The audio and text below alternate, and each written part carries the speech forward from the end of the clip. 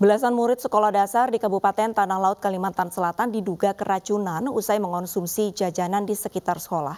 Seluruh korban keracunan kemudian dilarikan ke puskesmas terdekat.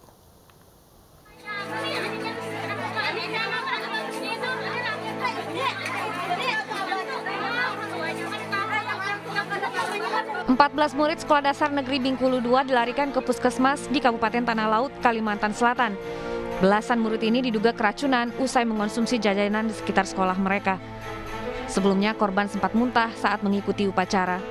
Datang dengan keluhan e, mual-mual, hmm. sakit perut, kemudian dengan keluhan e, mengeluh kepala pusing.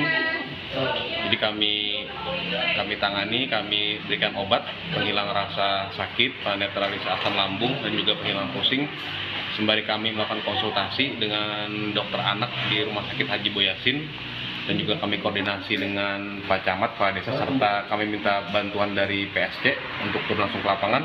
Untuk mengetahui penyebab pasti dari kasus keracunan ini, Dinas Kesehatan Tanah Laut telah mengambil sampel beberapa jajanan untuk diteliti. Dari Pelihari Tanah Laut, Zulkifli Yunus, iNews melaporkan.